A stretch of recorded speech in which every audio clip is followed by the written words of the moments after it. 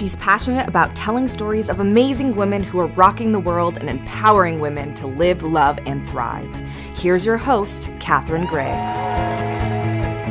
Um, the Live, Love, Thrive Women's Empowerment Hour. As you know, we always have on extraordinary guests. And of course, today we have on a superstar. She is a pioneer in the LGBT community, a comedian, and a real trailblazer. Please give a warm welcome to Robin Tyler. Hello. Hi. Hi. How are you? Good to finally Actually, get you on. I'm good, yeah. Yeah. Um, and I'm excited because you have a actually a live show coming up on Saturday, November 15th, right? November 16th. 16th. Yeah. Okay, of course I messed it up. That's okay. But uh, at Santa Monica Playhouse, which I love. Yes, It's very charming It's place. called Always a Bridesmaid, Never a Groom. Yeah. And actually, I did it years ago in the 70s. When Harvey Fierstein did Torch Song Trilogy, I did Always a Bridesmaid for the Glines, John Glines. And one day Harvey was on, the next day mine was on. But the critics wrote, although both plays are very funny, Robin Tyler's idea of marrying somebody of the same sex just doesn't cut it, right? That's not funny. Back then, they couldn't even imagine, they imagine, couldn't even imagine. Yeah. And I, w- I would talk about I wanted to marry somebody. I just didn't want to date. I'm Jewish. I don't want to be cheap. You know I mean? and uh, so I brought it back, but now I brought it up to now. You know, as you know, we sued and won. Yeah. Uh, marriage rights. Uh, Diane well, and I were the plaintiffs. yeah, I want to talk about that because Yeah. that's like huge. It's it's history making. Uh-huh. Uh, so you and your partner of 23 years, who you just lost, I'm so 26 sorry. years, yes. 26. You know what? I, Um, how I say it? I say we were married 26 years, legally married 10. So that way people can get the scope of Right. the relationship. Right, right. Yeah. Well, uh, you all were the first couple uh, in California to get married legally, right? What what we were Adele and Among the first, yeah. No, no.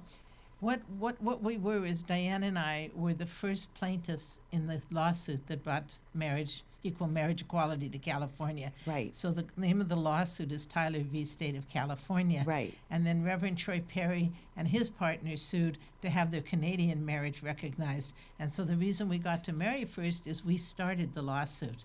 And at the same time, our friends of ours, Del Martin and Phyllis Lyon, they got married in San Francisco at the same I time. I remember them, Right? yes. So the two couples, and, and we, I was friends with Del and, and Phyllis forever. That's how I came out. I picked up a little uh, booklet in 1959, and it said, when I, when I had a crush on a girl, and I ran down in Banff to school, and I picked up a booklet, and it said, if you're a woman and you like another woman, what you are is a lesbian, everybody could tell you you're wrong.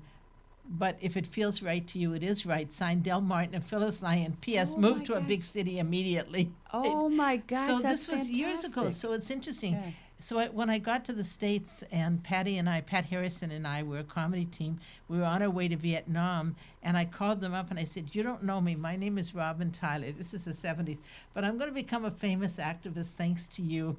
And I'd like you to meet me at the airport. We're going to Vietnam." So Del and Phyllis drove to the airport thinking I was on drugs, and they were, they were going to take me home. And that's how I met them. And then, you know, 50 years later, we got married at the, the exact same time. Diane and I, and Del and Phyllis. Well, I know, yeah, and you guys were the first to, uh, you know, uh, you, you went down to the courthouse in Beverly Hills, right? Yes. They turned you down For four years, four or five four years. Yeah. right? And then uh, when the California Supreme Court finally decided that you could get married, Uh-huh. uh, they allowed you to do it first before they even opened it up to Yes. the licenses the next day. So Right. you got We- you were the first one at the Beverly Hills uh, uh, courthouse to get married. Yes, that's because Diane was from Beverly Hills. Right. So, so we and we wanted to get married in the bastion of radical gay liberation, Beverly Hills, California. Yeah. Oh my God, that was perfect. you know, so perfect. we are everywhere. And Gloria Allred uh, was uh, representing you at yeah, the time, right? Gloria was actually I've been friends with Gloria, real friends, not like show business. Yeah, know, yeah. Since the seventies, Oh my and gosh. so uh, when we asked Gloria to do the lawsuit, we did the lawsuit because I was a member of uh, AFTRA, American Federation of Television and Radio Artists, Mm-hmm. and I was going to retire. And they gave domestic partnership uh, medical insurance to people up until when they retired. And then if you weren't married, you couldn't get it. They would drop your partner from the rolls. So I called them and I said, I'm retiring. Are you going to continue to give Diane medical? And they said, no. I said, why not? And she said, well, that's just the way it is, hon. So I hung up the phone and I called Gloria, and that's actually what started the lawsuit was the discrimination against us. and none of the show business unions would give it to people after uh, would give domestic partnership benefits after age 65 Right. and so we changed before before we won the lawsuit after changed then the screen actors guild changed then the writers guild the directors guild but everybody thinks that show business was so liberal Yeah. they were not liberal you know they were So you know, at the same time, you all were fighting this gay marriage Yes. thing. I'm on the other coast creating "I Can't Marry You," a film about gay marriage and the federal rights and benefits and protections that we didn't have because not even gay people knew. right i never They I didn't never, even know which. Uh, is there such thing as a have. is there such thing as a gay death certificate no is there a gay birth certificate no there's no such thing as gay marriage it's only marriage You're right. in other words You're it's right. a contract But marriage for gays, yeah. marriage we, we call it marriage uh, um, uh, yeah marriage equality marriage for same-sex couples that's why my film was called "I Can't Marry You." So it was just like, uh, was you know, perfect. You, It was- yeah. Yeah, if you fall in love with somebody, you can't marry them. That's the bottom line. So you know what happens people think that activism is due to one person like it's harvey milk did everything or this one did everything Yeah, oh, it's the a truth collective, is, for it's a, from the ground up it's a whole bunch of people Isn't it? that put their life on the line Yes. and, and, and, and fight and struggle Frank Kameny in the 50s. Yes. Right to file for because he was a scientist that got fired by the government and it and it was under the Eisenhower administration you could not get a job Yeah. if you were in the federal government if you were gay or lesbian and that did not was not struck down until Bill Clinton Right. 50 years later. Right. So Frank Kameny, Troy Perry that started MCC Church. Yeah. Uh, there was so many large, large movement. hu- huge movement. You know what I want to talk about though is you. Uh-oh. And I want to talk Oh, me? about the All fact right. that No, um, let's talk about you. Nobody interviews you. How are you today? you know, you you are such a trailblazer in this gay community, and I want to talk. I definitely want to cover all the things you've done because I know you're most known for, at least in the LA community at this moment, for you know being uh, the first to get married and, and, and helping to change that law, but. What led up to that is fascinating, and a lot of people don't know that you're from Canada, that, that you ran away and uh, uh, to New 40 York. At age Yeah. 14, right, I uh, I got my you know what that, that Yeah. girls get, but I didn't realize I was a girl. Yeah. And uh, my mother sat me down and told me after that I could get pregnant and everything, and I thought it was like a boy, you know. Yeah. So I just I was in shock, and I got on a I, I got on a train with no money. Any I just decided to run away from home. Oh Not and I got on a train and I uh, toward Minneapolis. I figured if I could make it to the states, I could be what I wanted. And of course, the RCMP. Do you know what that is? The No. Royal, Royal Canadian Mounted Police caught me on the train, and they took me home. And Oh my uh, gosh. and so I ran away from home. And I moved to New York very young. I was uh, early 20s. And, um, and I, I, I moved to New York uh, and I went to my first drag ball, right? And, and you told me you were like a street kid. I was well. Yeah, I, yeah. after, I I was a st- actually what happened was I was in the Y for three days and then they threw you out. And I was walking along the street with my suitcase, and uh, these women would drive in Cadillacs along the street, along the big streets, to find people, kids that looked like le- little Les. At the time, we were all gay, but gay women or gay kids, and they stopped their, their car and they said. Uh, I, I do have a place to go, and I said no, I don't. Don't. So they picked me up, and I didn't know anything about. I, I got in the car I'm from Canada. I didn't know about sex trafficking or anything. I mean, Oh my God. and I just went in the car, and they took me to uh, uh, this woman that had offered to share her, her apartment, Big Gus on 18th, 305 West 18th Street, and and that's how I got my first home till I got a job. But there was no center, there was no nothing, so they just went along and. But wait, so this wasn't sex trafficking. They just wanted to truly help you. Yes, there was this Oh, whole that's organized amazing. group of lesbians in New York that took a car and went around and picked up homeless kids. Oh my God, isn't that wonderful? Yeah. Wow, you were lucky. Well, they're the heroines. You know, they're people that no nobody knows about them, but they're they're our heroes. Well, you know? angels. Yeah, earth Yeah, angels, I call them. So, how did you get uh, into the comedy business? Um, I know you've done so many things. You have an album uh, that's the same name as your show you're about to do. Oh, is a bridesmaid never groom, right? That was a, a popular gay album that's actually in the Smithsonian. Yeah. How it- amazing is that? It well, I mean- it was the first out lesbian or gay album because I was the first out lesbian or gay comic. And you had this um, comic partner that you worked with Right. uh, in here's what happened. I, I go to New York. I'm a kid. yeah. I go to my first drag ball. The police raid the drag ball, They arrest 44 men and me for female impersonation. they take me, and all they're all the queens are screaming, "She's a she's a girl." So the cops, you call call each other girl, this girl, that. So uh, they take me to, to jail, and they allow me one phone call. So did I call my mother? Can you imagine? Hello, mom. It's it's I'm I'm in jail for female impersonation. You know, I no. I called the New York Post, and the headlines read 44 men and one woman arrested for female impersonation. So I thought this is great. I'm going to become a female impersonator. so I went to the 82 Club, Yeah. and and I auditioned, and he said, "Okay, what what guy do you want to do?" I said, "I want to do a woman." This is before Victor Victoria, right? Yeah, yeah. And he said, "Well, who can you do?" I said, well, "I can do Judy Garland," and I could the real voice. Yeah, I have a picture of it. But I could actually I can actually sing her Oh my God, that's or I fantastic. could. So I became the, one of the most famous female impersonators in the United States, and I worked with all these other female impersonators. So wait, so uh, I was a Oh, wom- woman. a yeah. woman pretending to be a man, pretending to be a woman. Yes, yes. All I had Just to like do Victor was Victoria. all I had to do was accentuate. Yes, Yeah. except in Victor Victoria, she was heterosexual and I wasn't. Right. But all I had, and they never. In the end of the show, everybody had to shout out who they thought the real woman in the show was.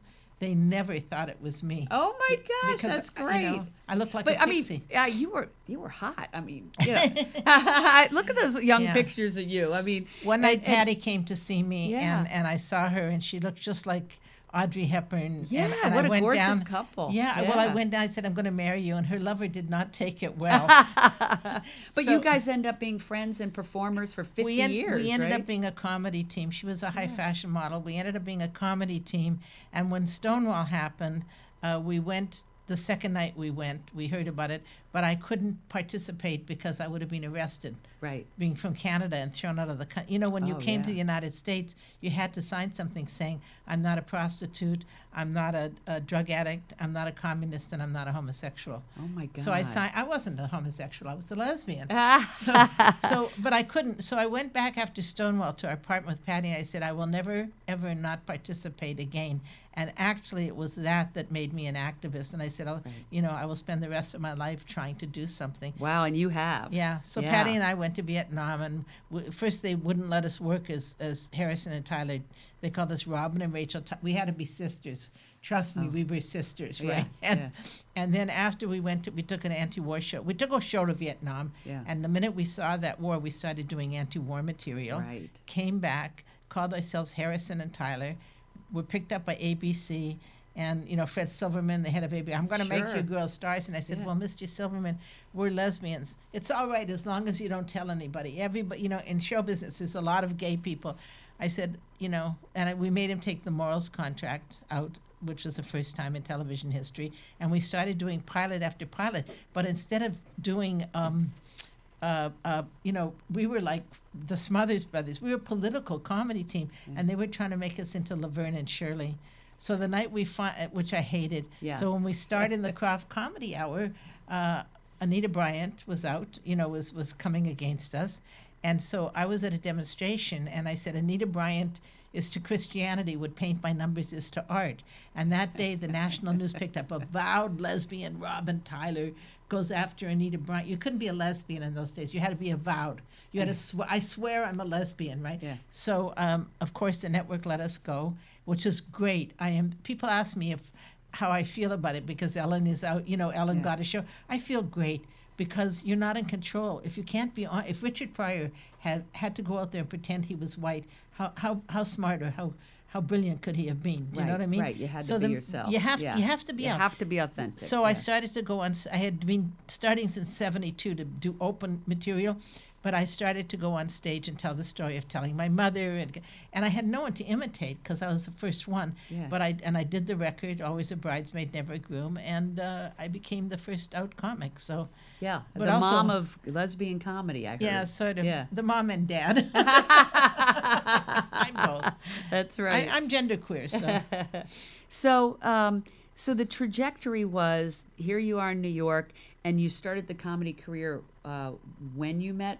No, I was in L.A. We had moved to L.A. by You that moved time. to LA by then. So, Yeah. how did you get from New York to LA? Just curious. Plane. That's that. I mean, you because just, in LA, you just said to my, yourself, "This is where I could have a career." well, you know what? We didn't have much of an act, but in L, when, so we figured we'd break into television because you didn't need an act. Yeah. You just needed a relationship, right? Yeah. And so we were lucky. And what was the name of the show? Uh, well, that wasn't a, the, the, finally put us in the Krofft comedy hour, but that Oh, was Krofft a children's show. I mean, Oh. it wasn't. First, it was going to be the Harrison and Tyler show, and we just, you know, they were trying to make us into two cute girls. Oh, and they're trying to squeeze you into this comedy show that existed rather than having you do your own thing. They had which could have been to- really great. no, yeah. no, yeah. because our own thing, they were trying to make us into cute little. Yeah, no, I mean it could have been really great if they let you be yourself. Yeah, yeah, yeah. could have been the Smothers Brothers. But Yes, they, they had never seen women do political humor. Right. Anyway, um, I uh, I was in uh, uh, Minneapolis doing a show, St. Paul, and uh, there was a referendum against St. Paul, and I said, "What are you going to do if you lose?" And they said, "We don't know." And I said, "Why don't we march on Washington?" So they formed the Minnesota. Com- this is the first march, Minnesota for Committee for the March on Washington, and the the result was the '79 March on Washington. A lot of people think Harvey Milk started it, and I love him, but he didn't. It was started in Minnesota as a result of my call. Then when it came, when the, they dissolved because the women and men, you know, the women, you know, they weren't talking to the guys. But anyway, three months later, they dissolved. Harvey recalled the march, and when he was, and some people wanted it. It's like the movement, you know, everybody has a different thing. But the minute he got assassinated, everybody agreed to march. Right. Now, the march took place uh, three times that you were the event producer for the main stage. I was a main stage producer. wow, that's a huge undertaking. you know, I'm trying to think of what year But I But you know? I came out of show business, so I understood how to produce. Yeah. And it was, and, and and they just wanted political speakers, and I knew we also had to have entertainment. Right. So I so I would put on, you know, we'd have like on the '93 march. Who did you see in the march? And I'll tell you what. You year. know, uh, it was at a stadium, and um, that's they, different. yeah. they had stuff up on the screen, and so we marched in the day, and then all ended up at JFK Stadium. And Ellen was in the march. I remember that. Okay, that was that was probably '93, and that was the rock thing. Yes. At the march in in in, in '87, we could only I could only get um, Whoopi Goldberg, Robert Blake, and Zelda Rubinstein, the little star of ET. yeah.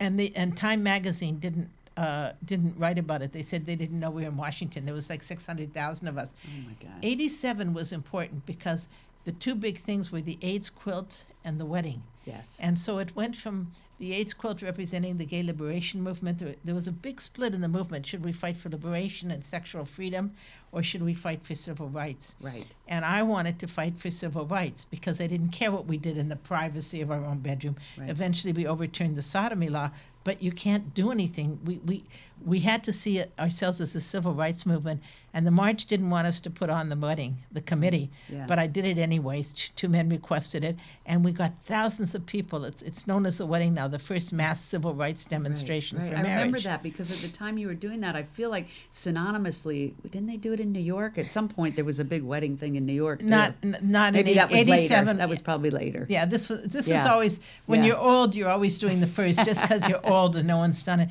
This was called the wedding, and Yeah. uh, and it and and thousands came, and then and and then we realized, you know, Troy had been marrying people at MCC Church in the '60s, Yeah. doing uh, you know holy unions and stuff. But we understood finally that that this was this was you know interest comes from the grassroots up. Right? Yeah. It's the tail that wags the dog, not the head. So we said, this is what they want marriage. And we began to understand that this could be maybe the first thing we could grab at Right. that would organize, that would organize. Yes. And uh, because it was sexy, it was about love and commitment and, you know, Tupperware. And no, I'm just kidding. and, and also because of AIDS, these guys lost everything. Had they been married, Yeah, the that was- families could have not wiped them out, you Yeah. know. So, uh, and by 93, um, we got a lot more stars. We got Mm-hmm. Melissa and Martina and uh, Surya McCallan and uh, Judith Light. And we did a, um, a military number. I call it a number because I produced it. was actually produced like a number. And they did. They, they were anti the military. A lot of the committee. Mm-hmm. I'm not anti-military. I'm just anti-war. But the military gives people a, you know, they can join and get college educations or whatever Right. and they had thrown all these gays and lesbians out of the military. So I produced this number, and they said, "Well, you're not going to use the military playing marching music." I said, "Absolutely not." So I used the, a tape of the London Philharmonic playing all the military music and the flags, and that was the Oh, that's fabulous. bigger than all the stars were all the Grethe Cammermeyer and all the people Yeah. that had been thrown out of the military walking on stage. So Yeah. that was uh, and interesting. uh, now, was that the last march on Washington? no, the la- there was a small march uh, in 2000. Uh, no, 2000 was the uh, Millennium March on Washington. I called that, but I ended up leaving because there was a discrepancy in the uh, in the Yeah. I don't know how to say it, but I didn't feel the money was secure, so I left that march. Now, you also did uh, 25 uh, festivals. Women's music and comedy festivals. Yeah, that's amazing. Now, um, and I- transgender was not an issue. We didn't care. We, Yeah. we didn't we, as long as everyone did their three-hour work shift, or or you know, our coordinator was transgender Michelle uh, because we needed a fire captain, and the only fire captain we could get was was Michelle. Thank God. And uh, so so, of course, just, you were trailblazing in that arena, too. well, we didn't. There was no issue about it. You know, when I was at the 82 Club, I worked with people that were taking hormones, or we didn't talk about transgender then, but they were. And I debated Chris Jorgensen in the 60s, though, because Christine Jorgensen, when she first transitioned, she came out and said being gay was bad. And so I debated her on the. She later changed her, her mind, but she hmm. said, "Oh, I became a woman because men and men." You know, we straightened her out in a couple of years. But that yeah that was it. So i've always been fighting not for just all we wanted was equality. Right. and so it's not up to a group of people to decide should this be the right to serve in the military or the right to get married or whatever. it should be all rights. And then if they don't want oh by the way did you see elizabeth warren do that marriage joke no. Oh, she did, and she she said, um, uh, a man, a man. He said a man came up to her and said, "I don't believe. I th- believe marriage should be between a man and a woman." She said, "Oh, okay, all right, then marry a woman." If she'll have you, that was that was my joke. That was my joke. Was did- it really? Yes, I did it all. wh- When we sued for marriage, I did it at the demonstrations Oh and when Prop God, 8 I came around. that. But I was very thrilled to see that somebody had captured it, and also she did it perfectly beat, beat, beat. She was just like a stand-up comic. Her timing. no, to me, this is. A, had she ruined it, I would have said, "Wait." That, but she and I have. If anybody out there knows Elizabeth Warren, I have three more jokes that she could use.